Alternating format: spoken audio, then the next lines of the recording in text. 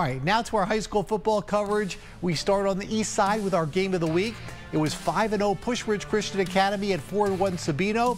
Who did you think would win? Well, it was part of our live poll on our website. And as I take a peek here, looks like uh, well, most people thought Sabino would come away with uh, a victory and hand the Lions their first loss of the season. Let's see what happened with KGUN 9's Aaron Patterson. 3A South bragging rights are on the line tonight with a battle between two of the top quarterbacks in southern Arizona, Sabino's Cameron Hackworth and Pusch Ridge's Bubba Mustaine.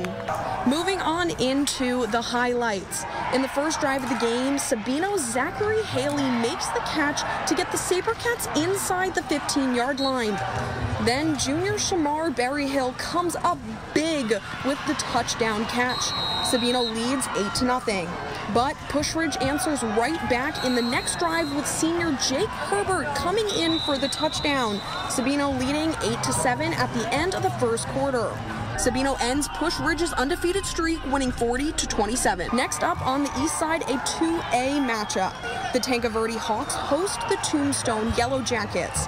Early in the third quarter, Tanque Verde leading 3 to nothing. Junior Kason Whites takes the handoff and gets the Hawk inside the five-yard line. Quarterback Grayson Bradshaw then takes the ball to the house for the first touchdown of the night. Tanque Verde leading 10 to nothing.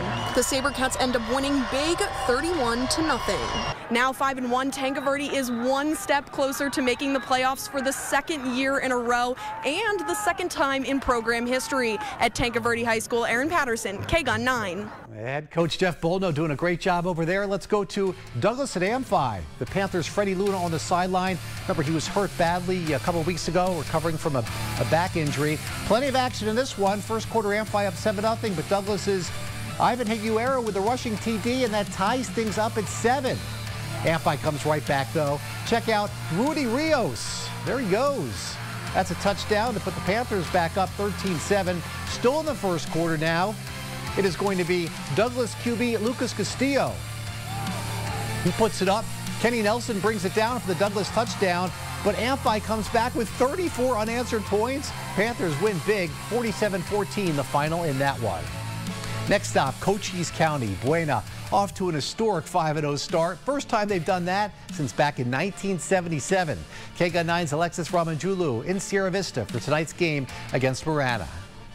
Jason, it's been a 360 turnaround for Buena football, as in 360 yards per game. That's what they've been averaging in those five wins. Taking on the Tigers. Buena entered the game as the favorites, but the Tigers came to play. Marana's Daniel Hayward took the handoff early in the first quarter for a three-yard touchdown for the Tigers. The Tiger fans had lots to cheer about with their team dominating the game. Marana capitalized on another short run in the first quarter. This time, junior Andres Taylor found a hole in the Buena defense for a touchdown. Marana led 20 to nothing after the first quarter, leaving Coach Thomas to refocus his offense. But the Tigers couldn't be stopped. Six seconds into the second quarter, Desmond Robach found the the end zone off the jet sweep, putting the Tigers ahead 28-0. And just like that, the winning streak is over for the Buena Colts, who are absolutely stunned on their home field tonight, falling to Marana 55-0.